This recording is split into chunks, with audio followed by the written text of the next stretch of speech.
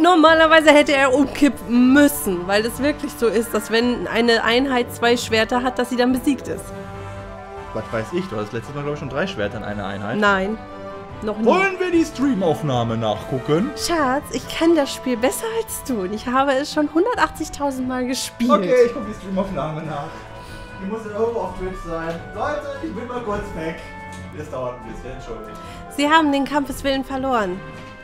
Biete ihnen an, sich zu ergeben. Setzt Kiba und seinen Sohn Klaus fest, aber verletzt sie nicht.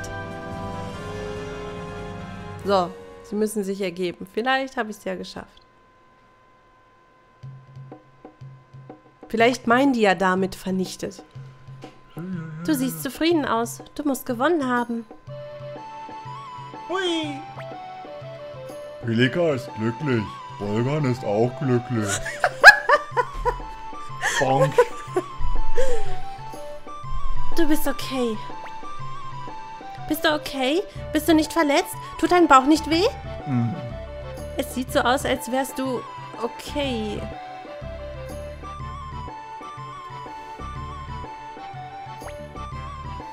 Feindliche Generäle, dies ist Kiba und dies ist Klaus. Ihr wart gut, ich habe mir bis zum Ende Sorgen gemacht. Hab mir voll aufs Maul gehauen. Du hast dir nicht das Recht erworben, mich beim Namen zu nennen, Junge. Töte mich und wir haben es hinter uns. General Kiba ist ein großartiger General und sein Sohn Klaus ist auch ein militärisches Genie. Lord Rio, ich schlage vor, dass du sie freilässt und sie als unsere Verbündeten akzeptierst. Schneide die in die Kehle durch! Okay. General Kiba, schließen Sie sich uns an. Wir brauchen Ihre Stärke. Ich weigere mich. Ich schulde meine Loyalität Agares Blight, dem König von Highland. Mich mit dem Feind zu verbünden, würde meinen guten Namen beschmutzen.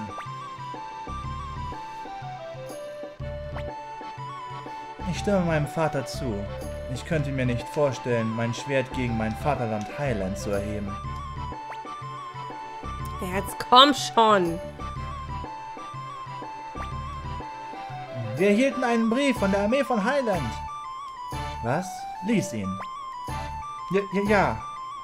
König Luca sendet dir dieses Geschenk zu Ehren deiner Tapferkeit. Wir freuen uns schon auf die nächste Schlacht. Gezeichnet Leon Silverberg, das ist alles. Hm. Klaus, wie deutest du diese Nachricht? Hm. König Ageres ist wohl von Prinz Luca ermordet worden. W was? Klaus, sei nicht so voreilig! Die Verlobung von Lady Gilia, der Tod von Lord Ageres, die Veränderungen in der vierten Kompanie, das ist alles, woran ich denken kann. Hm. Es ist nicht das Ziel von Luca Blight, einen Sieg für das Königreich zu erringen. Er will das Leben aller Bürger des Stadtstaates nehmen, aber es ist nicht nur der Staat, den er fürchten muss. Der Ehrgeiz von Luca könnte auch Highland zerstören.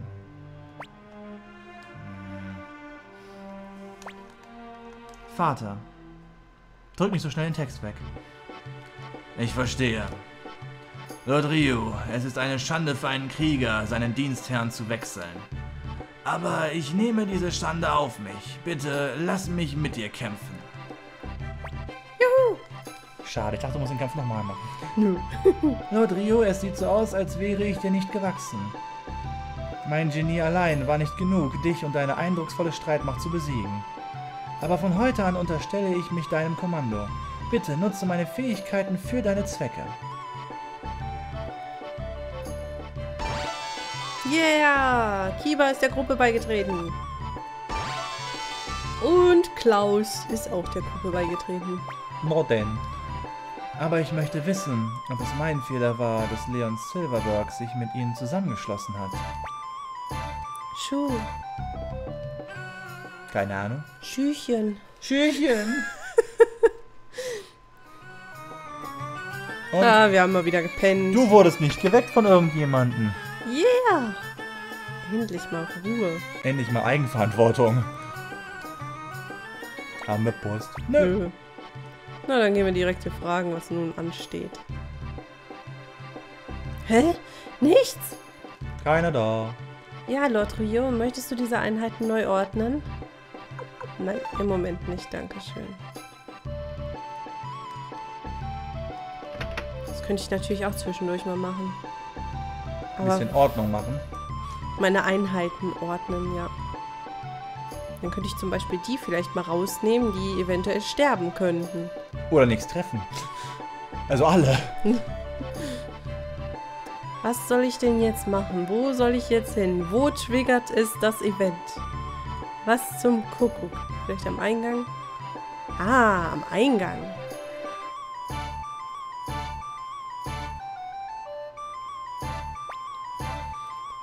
Verdammt! Wohin ist der Kerl gegangen? Seine Beine müssen genauso schnell sein wie seine Hände. Hm?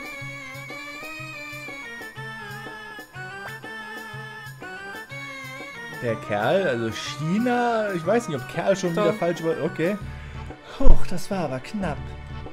Bis sich die Situation beruhigt hat, ist es wohl besser, wenn ich mich mit Victor und den anderen verberge. Hinter ihm! Okay, was ist denn er für ein komischer Typi? Komischer Typi. Steht nicht auf der Liste. Steht nicht auf der Liste. Er Kannst du, steht, kannst du ignorieren, steht nicht auf der Liste. er steht weiter unten auf der Liste wahrscheinlich. Also, So, dann gehen wir mal direkt gucken. Der ist bestimmt jetzt hier irgendwo reingerannt. Bist du schon wieder müde? ja. Ach, guck, und auf einmal ist hier Full House. Typisch. Lord Rio, wir haben nach dir gesucht. Wo bist du gewesen? Selbst Lord Rio braucht hin und wieder Zeit für sich allein. Schließlich ist er noch ein junger Mann. halt die Klappe. Lord Rio, bitte vergiss nicht deine Verantwortung als Anführer der Dragon Armee. Wenn du die Burg verlässt, müssen wir alle Vorsichtsmaßnahmen treffen, damit dir nichts passiert. Die Armee würde ohne deine Führungskraft zusammenbrechen. So, jetzt wo wir das hinter uns haben, wollen wir uns der heutigen Lagebesprechung widmen. Bitte fang an, Apple. Die Dragon-Armee hat jetzt fast 25.000 Soldaten und entspricht damit ungefähr der Größe jeder Kompanie. Der Highland-Armee. Die Highland-Armee besteht aus vier Kompanien, von denen die erste, dritte und vierte Kompanie auf uns angesetzt sind. Die dritte Kompanie von Kiba hat bei der gestrigen Schlacht fast zwei Drittel ihrer Streitkräfte verloren. Aber die noch verbleibenden Kompanien sind absolut ausreichend, um diese Burg leicht zu überrennen. Wenn wir ihren Angriff überleben wollen, ist es unbedingt erforderlich, dass wir unseren eigenen Streitkräften Mut zusprechen. Tinto verstärkt seine Grenzsicherungsmaßnahmen, aber lässt uns über seine Absichten im Dunkeln.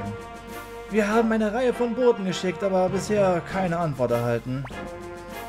Punkt, Punkt, Punkt, Punkt. Greenhill steht unter der Kontrolle von Highland. Matilda hat seine Position nicht verändert und Tinto ignoriert uns. Wir haben keine anderen Verbündeten, an die wir uns wenden könnten. Dies könnte das Ende sein. Wir haben keine Zeit mehr. König Luca Bleit wird in Kürze den Angriff befehlen, sobald er zur Frontlinie zurückkehrt. Es sieht so aus, als ob ich meinen alten Herrn um Hilfe bitten müsste. Was zum Teufel? Hi, ich bin Einbrecher. Hä, Apple, hey Apple, wie geht es dir?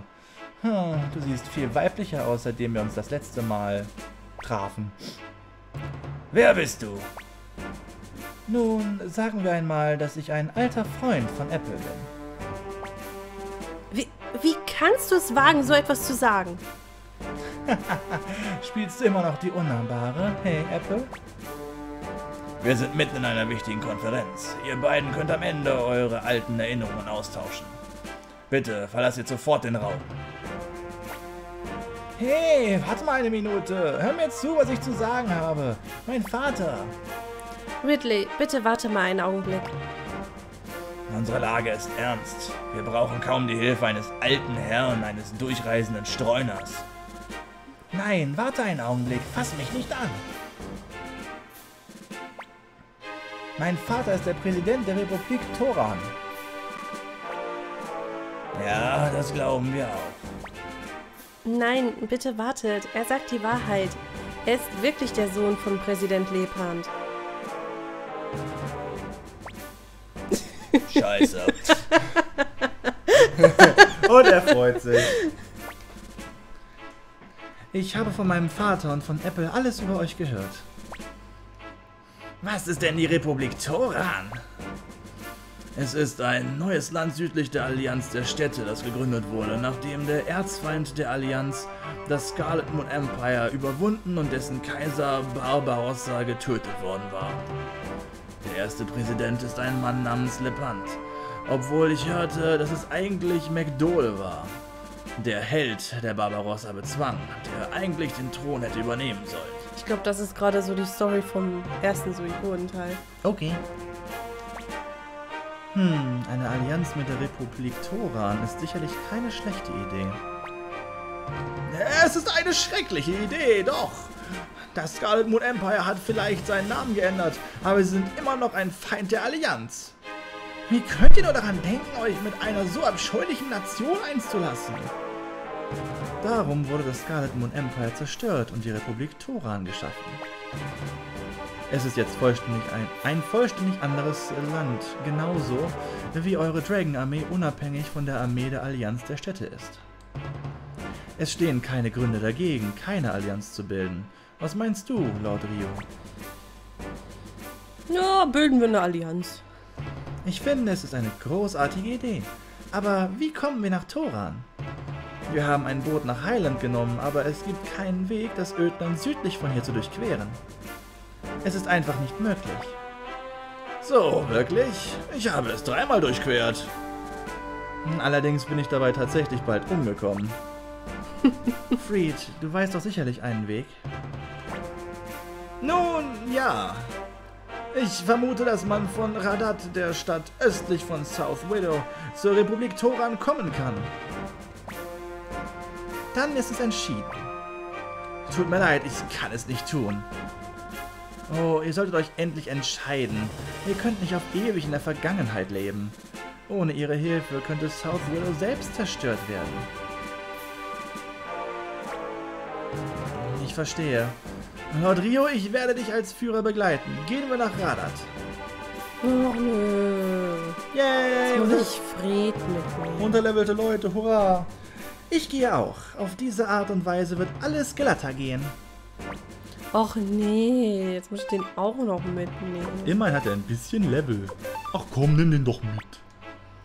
Bitte, Lord Rio, wir brauchen unbedingt Verbündete. Du musst eine Allianz mit der Republik Toran bilden. Okay, aber jetzt gehe ich erstmal auf Rekrutenjagd. Ole. Wuhu! Denn jetzt müssten wir eigentlich Schloss Level 3 haben. Ich möchte dich um einen Gefallen bitten, Lord Rio. Können wir in South Widow Halt machen, ehe wir nach Radat... Window steht da. South Window! Die südliche Witwe gibt's nicht.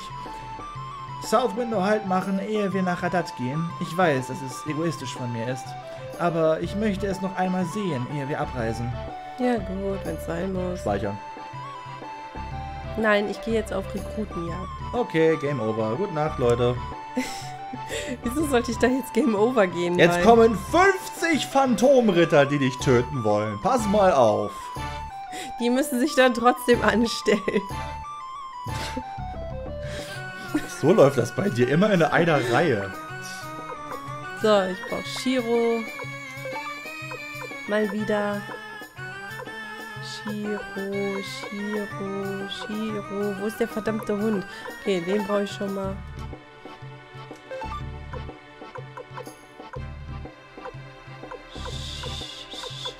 Da. Da. Shiro. Uff.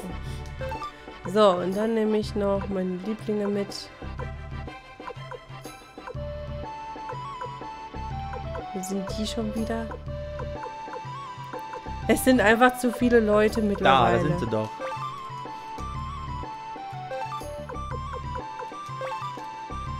So. Sehr schön, das haben wir wieder. Shiro muss nach vorne. Perfekt. Knobel, Knobel, lad, lad. Gruppe fertig. Mhm. So, jetzt gehe ich wieder zu Vicky und lass mich wieder teleportieren. Wehe, das klappt dann wieder nicht. Ich weiß halt auch nicht, woran man sieht, dass man dann Schloss Level 3 hat. Ausbauen. Sieht größer aus als vorher wahrscheinlich. Shazam! Natürlich ist es dann größer als vorher, aber ich renne ja nicht ständig das Schloss ab. Warum nicht? Ist dein Schloss. Muss man doch genießen. Hallo Badaux. Hi. Och, nö. Was geht? Kennen wir uns. Verdammt. Mach's gut, Sasa. Bye bye. Es funktioniert nicht. Das Problem ist, beide brauchen jetzt Schloss Level 3. Es sei denn, du willst Feather noch nehmen, aber ich glaube, dafür brauchst du Badeaugs. Hm. Hm. Ich versuch's trotzdem mal in dem Walddorf. Soll ich nachgucken, wann Level 3 kommt? Das hat ja auch was mit der Rekrutenanzahl zu tun, aber ich habe ja bisher alle, also müsste ich doch eigentlich rein theoretisch das dritte Ding haben. Kannst du irgendjemanden ansprechen und der sagt dir dann, hey, äh, Ausbauen des Schlosses kann jetzt gemacht werden? Nein, das geht automatisch. Deswegen sage ich ja, mit der re steigenden Rekrutenzahl verbessert sich dann auch das Schloss. Ja, ich weiß, ich laufe die ganze Zeit weg. Egal. Ja, gegen Bettler würde ich auch nicht kämpfen wollen. Das ist irgendwie komisch. Du da, woher bist du gekommen? Geh nach Hause. Ja, okay, hier kann ich eh noch nicht rein. Wir feiern gerade Kindergeburtstag, hier kommt keiner rein. Es könnte natürlich auch sein, dass ich das erst in Radat noch machen muss. Hm. Dass die dann da halt die falsche Reihenfolge haben. Dann müsstest du mal gucken, was da noch nachkommt nach den Badeaugs-Geschichten da. Badeaux. Badeaugs. Der richtig ausgesprochen? Badeux? Badeux. Ja, ist so! Deswegen, es, du kennst doch die Stadt äh, Bordeaux, oder? Mhm. Ist Frankreich. Deswegen, die müsste eigentlich genauso geschrieben sein. Das heißt, es wäre Badeux. Badeux. Badeux. Da finde ich Badeaux lustiger. Okay, nimmst du Badeaugs, ich nehme Badeux.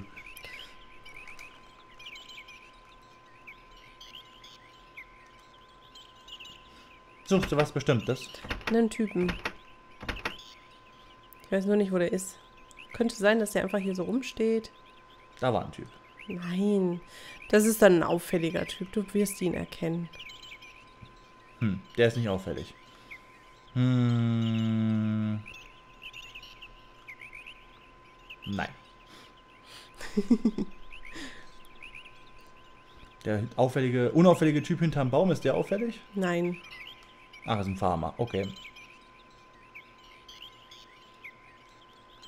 Oh, hier gibt's ein Schaf. Ist das nicht ein lebhaftes kleines Lämpchen? Ich verkauf dir nur für 4000 Potsch. Was sagst du dazu? Was lachst du mich auf? Bitte sehr Sorge gut dafür und vielen Dank. Ich habe ein Lamm bekommen. Und hör auf alte Leute auszulachen, das ist unhöflich. Oh Mann, ey. Nee, der scheint auch nicht da zu sein. Also habe ich auch im- noch nicht Schloss Level 3. Der im Walddorf, der dir also jetzt gerade suchen wollte, ist der Mhm. Cornell. Na gut, vielleicht in dem Haus? Nope. Hm. Na gut, dann marschieren wir jetzt wieder zurück. Marsch, marsch.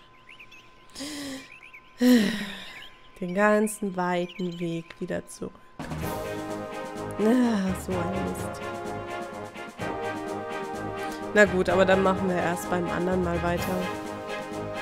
Weil da Ja, muss ich jetzt, da muss ich mal. nämlich jetzt wirklich erstmal gucken, wie ich mich dann ausrüste für Radat, äh, Quatsch, für Radat, für diese andere Republik und so. Ich weiß nämlich noch, dass wenn wir mit dem Schiff da runterfahren, dann sind wir erstmal in einem Wald und da muss ich mich dann wieder durchkämpfen und da gab es ziemlich starke Monster. Mhm. Das heißt, äh, es würde nicht schaden, dann vorher nochmal auszurüsten und so weiter. Vor allem, da ich ja Fred mitnehmen muss und den anderen Typen. Wofür? Wobei, Fred ist ja eigentlich der einzige, den ich leveln muss. Nee, ich meinte diesen Schena oder wie der heißt. Ach so, den Sohnemann. Mhm. Dann laufe ich jetzt zurück in mein Schloss. Wir können nochmal abspeichern, können nochmal gucken, ob wieder ein Kochwettbewerb stattfindet. ja, bitte. Kochwettbewerb zum Schluss eine schöne Idee. Und dann machen wir Schluss für heute. Ich glaube, der Rest ist eh schon eingeschlafen, von daher. Chat, wollt ihr noch einen Kochwettbewerb? Wenn ja, bitte jetzt klingeln laut. Auch wie wir das hören sollen, weiß ich nicht, aber schreibt's einfach. Wenigstens muss ich nicht mehr würfeln, glaube ich. Ich glaube, es gibt keinen Charakter mehr, den ich durch das dämliche Würfelspiel rekrutieren muss. Hattest du das schon geschafft, also? Dann ist sehr gut. Yep. Das war so schrecklich. Dieses Würfelspiel ist so das, was mich hier in dem Spiel jedes Mal aufregt. Hm. Es einfach furchtbar ist. Muss ich das mal für dich spielen? Du wirst es auch furchtbar finden. No, so halb nicht. Du wirst es furchtbar finden. No. Du kannst gerne gleich mal eine Runde spielen, denn die Typen, die ich rekrutiert habe, sind hier irgendwo im Schloss, damit du da spielen kannst. Dann speichere halt vorher einmal. Das wollte ich ja sowieso machen. Ja, auch vom Kochwettbewerb und so weiter, ne? Mhm. Wer ist der Typ in der dunklen Kapuze? Irgend so ein Typ. Nichts, niemand Wichtiges. Also hier laufen auch so unwichtige Leute rum. Ganz normale NPCs halt. Denk dran, die unwichtigsten Leute in den dunkelsten Kapuzen sind meistens Spione. Ich sag's dir. Die nicht. Hm.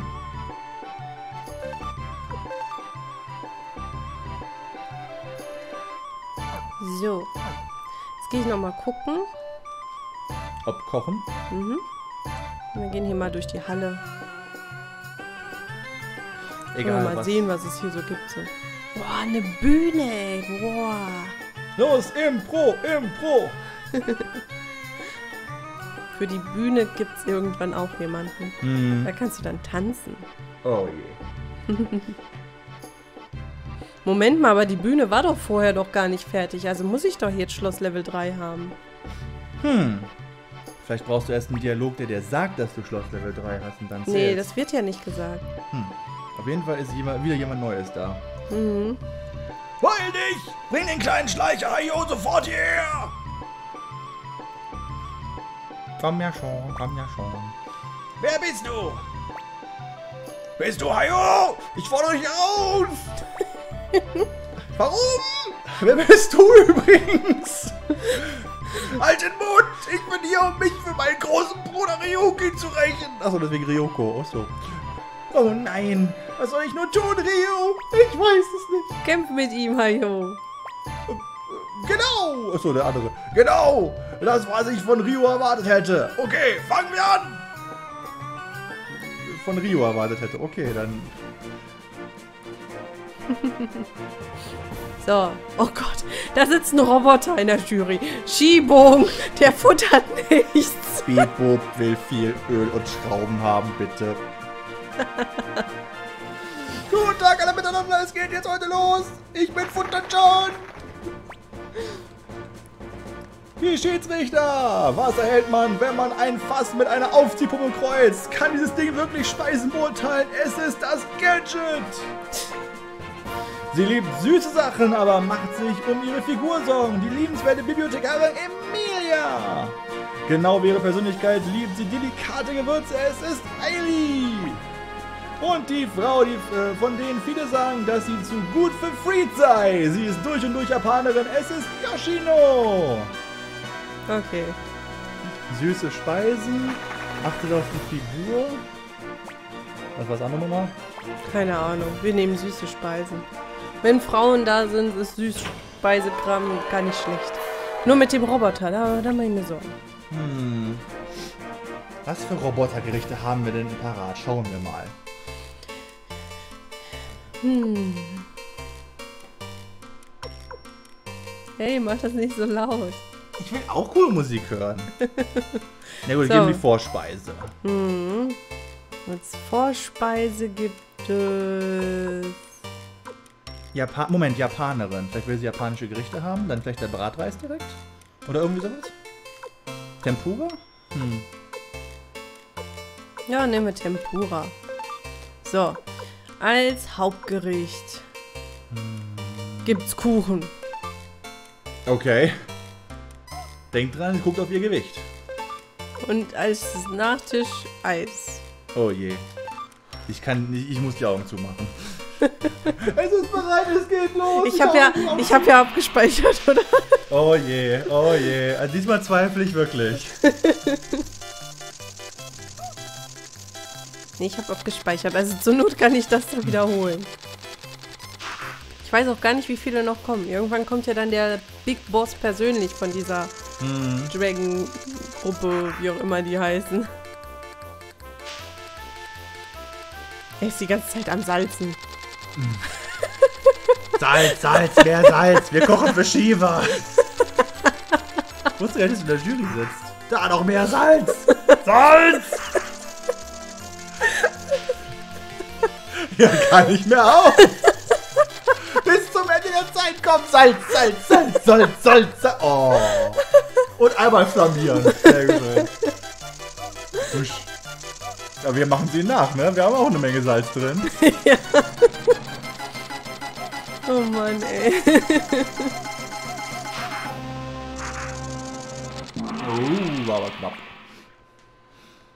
So, die drei Gerichte sind fertig.